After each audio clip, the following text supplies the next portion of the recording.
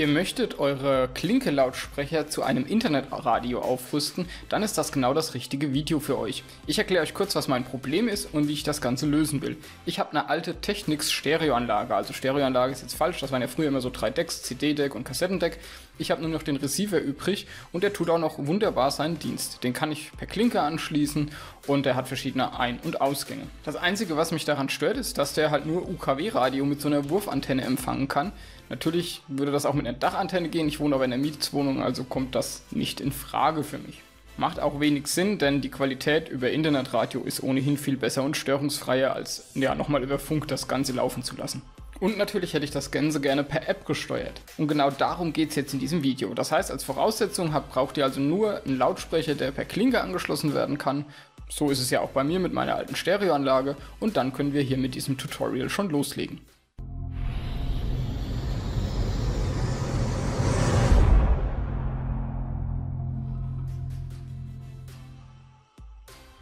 So, was für Hardware brauchen wir für den ganzen Spaß? Was ihr ja schon habt, ist wahrscheinlich euer Lautsprecher, den ihr jetzt als Internetradio benutzen möchtet. Zusätzlich zu dem Ganzen braucht man einen Raspberry Pi. Ich würde empfehlen, ab Raspberry Pi 2 damit anzufangen.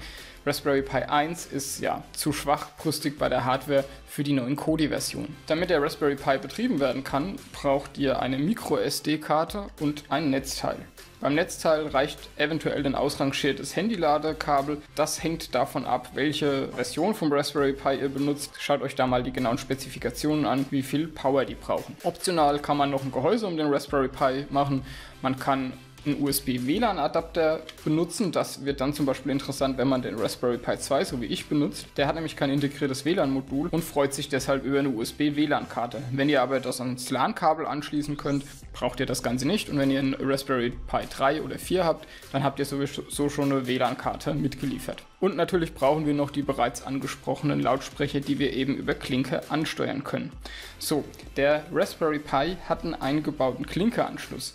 Den kann man benutzen, der ist aber nicht besonders gut. Ich würde euch empfehlen, eine USB-Soundkarte nochmal zu benutzen.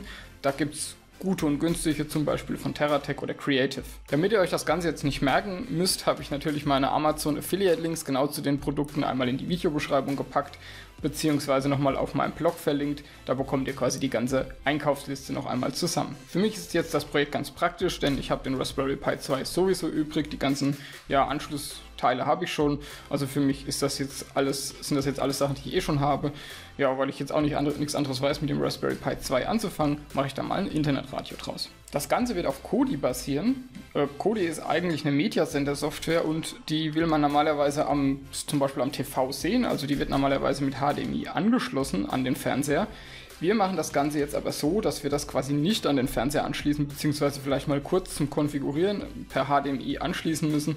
Aber dann können wir ja HDMI entfernen und können dann nur für Wartungsarbeiten HDMI an, nochmal an den Bildschirm anschließen. Ansonsten geht das Ganze aber ohne Bildschirm vonstatten. Aktuell ist das bei mir so, dass ich über den Fire TV Stick Musik höre und das hat halt immer zur Folge, dass auch der Fernseher an sein muss, damit das Audiosignal vom Fire TV Stick zum Fernseher zur Stereoanlage durchgeschleift werden kann. Der Stromverbrauch ist mir dafür langfristig zu hoch, deshalb möchte ich jetzt auf diese Stromsparlösung ohne Bildschirm setzen. So, ich habe ja gesagt, wir brauchen eine Micro SD-Karte und damit wir die lauffähig kriegen im Raspberry Pi 2, bin ich jetzt hier mal auf der Seite vom Raspbian gelandet, beziehungsweise von Raspberry Pi.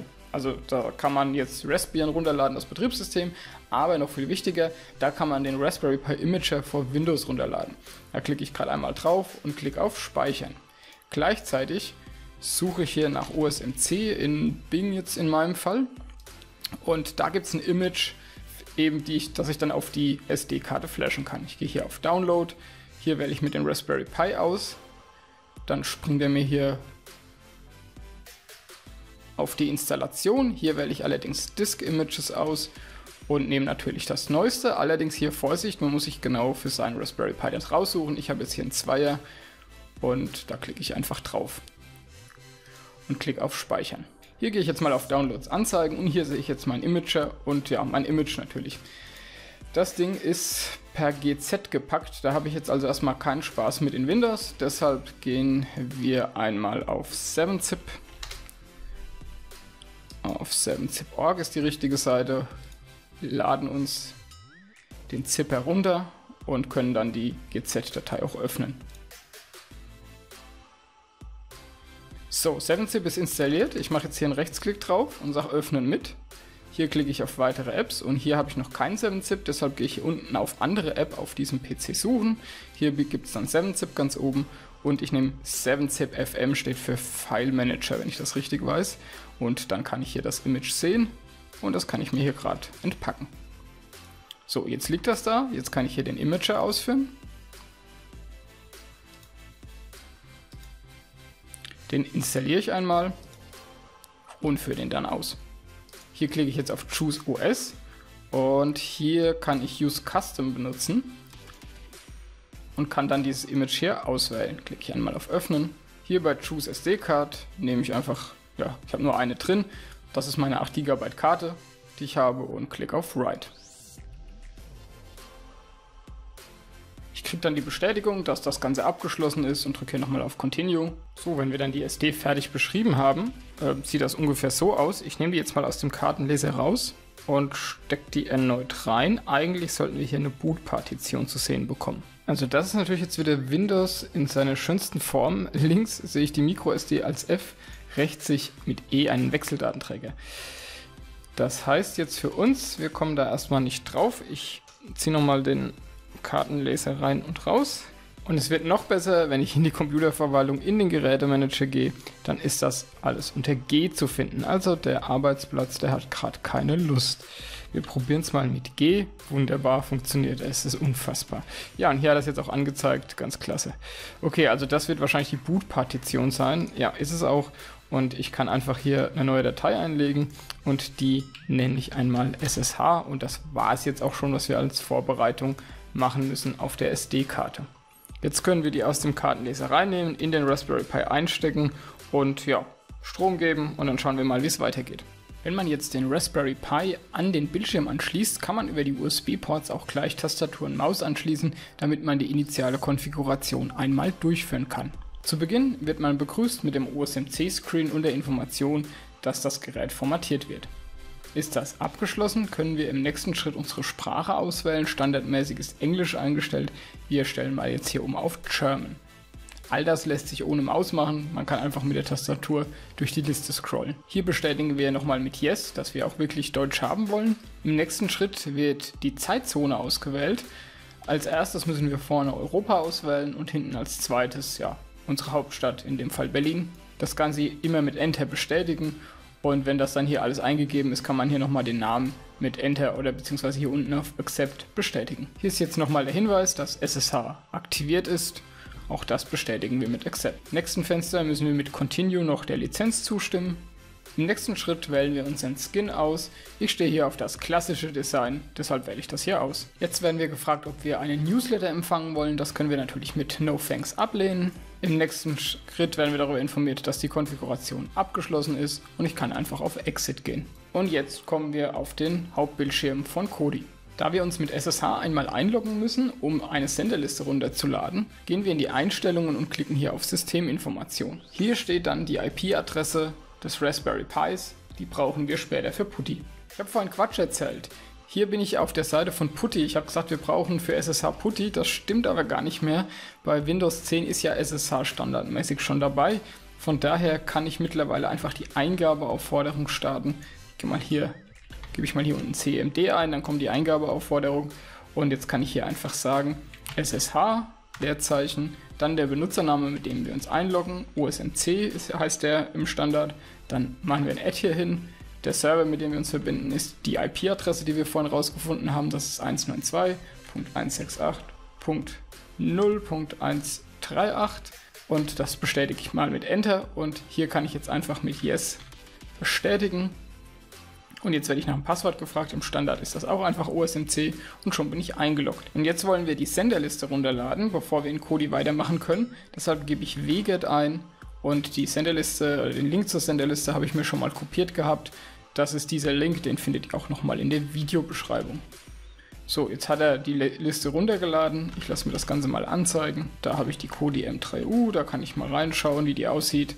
Und da sehe ich eben die ganzen Sender mit ihren URLs. Ich habe mich mal hier mit dem VNC-Viewer auf Kodi eingeloggt, sodass ich das schön aufnehmen kann. Ist jetzt leider ein bisschen verpixelt, aber lesen kann man es trotzdem. Was müssen wir hier jetzt machen? So, dazu gehen wir mal wieder in den normalen Startscreen zurück. Der ist jetzt bei mir komischerweise noch auf Englisch gestellt, obwohl ich ihn auf Deutsch gestellt hatte. Deshalb, falls das bei euch auch sein sollte, kann man, glaube ich, unter Interface Regional die Sprache einmal auf Deutsch wiederstellen. So, und jetzt bin ich mit deutscher Sprache wieder zurück. Und hier gehe ich mal auf Add-on. So, hier habe ich es gefunden. Ich gehe einmal auf Add-ons und hier geht man jetzt auf Benutzer-Add-ons. Und hier gibt es PVR-Clients. Also Add-ons, Benutzer-Add-ons, PVR-Clients. Und hier unten habe ich dann PVR, uh, IPTV Simple Client. Das ist der, den wir wollen.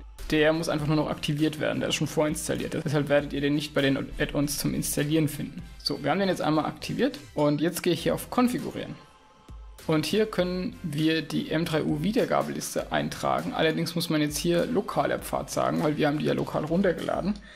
Eventuell kann man natürlich auch den Link nehmen, den ich jetzt vorhin hatte, ich weiß nur nicht, was dann passiert, wenn der nicht mehr verfügbar ist, ob das dann noch alles so nutzbar ist. Auf jeden Fall kann ich jetzt hier sagen Home-Ordner. Da haben wir es nämlich reingeladen und da liegt jetzt unsere Kodi M3U. Und dann gehe ich mal auf OK. Dann sagt er mir, ich soll das Ganze neu starten oder sagt er auch nicht. Wie auch immer, wir versuchen es mal. Ich kenne so, dass man das neu starten muss. So, wir gehen zurück und gehen jetzt auf der linken Seite hier auf Radio und hier auf Kanäle. Genau, und da ist noch nichts drin, so kenne ich das auch. Ich würde jetzt vorschlagen, einmal Kodi neu zu starten. Und dazu gehe ich hier wieder raus, gehe auf den An-Aus-Knopf hier und sage einmal Neustart. So, nach dem Neustart gehen wir dann mal hier auf Radio und wieder auf Kanäle. Und jetzt sind die ganzen Kanäle drin, da werden auch die Logos jetzt hier noch schön nachgeladen. Wenn man die Seitenbar aufruft, dann hat man hier noch so ein paar ja, Filteroptionen, würde ich das mal nennen, ne? oder wie man es sortieren will. Was jetzt in der Seitenleiste aber noch interessant ist, ich hole sie mal wieder her, ist die Kanalgruppe. Da kann ich dann nochmal nach Ländern zum Beispiel filtern. Ich lasse jetzt einfach mal Deutschland eingestellt. Was ich euch jetzt empfehlen würde, wenn ihr jetzt drin seid in dem Gerät, dann könnt ihr mal ein paar Favoriten markieren und dann könnt ihr das bequem vom Handy aus dann anstarten. Zum Beispiel Antenne Bayern, da gehe ich mal in die Kontextmenü-Ansicht, das ist jetzt hier bei mir ein Rechtsklick einfach und hier kann ich dann sagen zu Favoriten hinzufügen und von daher kann ich die dann relativ gut auf dem Handy wieder abgreifen. Damit wir das Ganze jetzt auch vom Handy nachstellen können, hier sind die zuletzt gehörten Kanäle, aber wir wollen das vom Handy aus machen, deshalb gehe ich nochmal in die Einstellungen und gehe hier auf Dienste. Und hier gibt es den Punkt Steuerung. Und hier muss Steuerung über HTTP erlauben eingeschaltet sein und Fernsteuerung durch Anwendung anderer Rechner erlauben muss auch eingeschaltet sein. So, nachdem wir jetzt die Fernsteuerung durch Anwendungen anderer Rechner erlaubt haben, wechseln wir auf, auch mal auf einen anderen Rechner, nämlich auf unser Smartphone. Hier bin ich jetzt im Google Play Store und hier suche ich mal nach Yahtzee, nach der Kodi Remote Control. Die installiere ich auch gleich mal und nach der Installation öffne ich die. Jetzt kommt hier so ein Assistent, den klicken wir mal durch. Er versucht jetzt hier offene Kodi-Anwendungen zu finden. Wenn er die findet, okay, dann könnt ihr die hier auswählen. Wenn er die nicht findet, kann man hier auf Skip gehen, wählt hier Kodi aus. Die Adresse haben wir ja, das ist die 192.168.0.138. Solltet ihr jetzt nur darauf achten, dass die sich nicht mehr ändert. Das könnt ihr entweder in Raspberry, im Raspberry Pi einstellen oder einfach ja, in eurer Fritzbox im Router. Der Webserver-Port, den sehen wir hier auf der rechten Seite, der hat die Nummer 80. Das Ganze bestätige ich mal, klicke hier unten auf Add Host. So, das hat jetzt funktioniert. Und jetzt haben wir quasi die Kontrolle über unser Radio am Handy. Und zwar sehe ich ja hier den Punkt PVR. Also ich hüpfe nochmal zurück, hier nochmal drauf. Das ist diese Seitenleiste. Und hier gibt es den Punkt PVR. Da klicke ich drauf und jetzt bekomme ich Fernsehsender, die bringen uns ja nichts. Wir wollen ja langfristig das Ding gar nicht mehr angeschlossen haben an Fernseher. Interessanter sind hier die Radio-Channels. Und ja, da kann ich jetzt einfach durchgehen. Und ich starte jetzt mal hier zum Beispiel Spreeradio Rock und wir gucken mal, was auf der rechten Seite passiert. Äh, beziehungsweise hier oben drücke ich mal auf Play, dann startet es auch. Und hier sehe ich jetzt, dass das auch tatsächlich läuft. Ich gehe mal hier zurück. Ja, und hier oben sehe ich es dann laufen. Ich glaube, man kommt da jetzt nicht in ein Bild rein, wo man mehr sieht. Ist ja nur Radio. Ist ja nur Hintergrundmusik. Genau, also hier oben sehe ich das läuft. Ich kann hier auch nochmal zurückgehen. Hier habe ich jetzt die Auswahl Play, Guide und Record. Tja, da muss man hier oben immer nochmal auf Play drücken, aber dann startet es auch. Hier unten sehe ich dann das, was gerade läuft. Dann kann ich hier dann auch nochmal steuern, also pausieren zum Beispiel. Und mit Play geht es dann weiter. Was wir vorhin schon als Filter hatten, kann ich hier auch nochmal einstellen. Wenn ich die Filterfunktion nutze, kann ich mir zum Beispiel die Kanäle aus Deutschland filtern. Da das Starten über die Liste ein bisschen umständlich ist, würde ich euch empfehlen, die Favoritenfunktion zu nutzen. Wir haben uns ja vorhin schon einen Sender mal als Favorit markiert. Was ein bisschen schade ist, ich kann jetzt hier keine Favoriten äh, ja, markieren in dieser Channel-Übersicht in Yazzi. Das ist ein bisschen schade, auch wenn ich lang draufklicke, passiert da nicht wirklich was. Deshalb müssen wir das Ganze quasi bei der Einrichtung einmal machen am Kodi und dann können wir die Funktion nutzen und das geht so. Wir gehen hier mal äh, zurück und auf der linken Seite können wir hier bei Files auf Favoriten gehen und da habe ich Antenne Bayern drin. Falls das bei euch nicht drin steht, klickt hier mal auf diesen Download-Button, dann synchronisiert er sich mit dem Mediasender und hier kann ich dann nämlich genau einfach direkt draufklicken oder hier klicken und dann fängt er an abzuspielen. Da kann man sich jetzt also seine fünf Lieblingsradiosender einreihen und kann dann direkt drauf zugreifen. Auch eine Sache zum Schluss, damit auch die Audioausgabe richtig funktioniert, gehen wir nochmal in Kodi und hier müssen wir dann nochmal auf die Einstellungen gehen und hier auf System. Hier gibt es den Punkt Audio. Hier muss man halt schauen, was man als Ausgabegerät auswählen will. Man kann jetzt hier zum Beispiel HDMI wählen, das ist der Standard. Analog würde heißen, der Ton geht über den Klinkeanschluss und eine von diesen beiden ALSA-Quellen würde heißen, der Ton geht dann über die USB-Schnittstelle raus. Das heißt, wenn man eine Soundkarte angeschlossen hat, so wie ich das ja empfohlen hatte über USB, muss man hier also das die auch entsprechend auswählen. Ab jetzt könnt ihr Kodi wieder vom Bildschirm trennen, wenn ihr dann eure Favoriten konfiguriert habt. Und ab dann könnt ihr einfach hier über die Yazzi-App eure Radiosender starten. Natürlich freue ich mich auch noch über hilfreiche Kommentare, wie man das ein bisschen eleganter gestalten kann und wie man vielleicht auch noch die Funktion nutzen kann, den Guide sich anzeigen zu lassen. Auch die, das Handling, also der Favoriten, vielleicht hat da der eine oder andere noch eine Idee, die er in die Kommentare schreibt. Das heißt, wenn ihr eine Idee habt, schreibt sie in die Kommentare. Aber für alle anderen Zuschauer lohnt sich auf jeden Fall auch mal ein Blick in die Kommentare, falls da was Sinnvolles stehen sollte.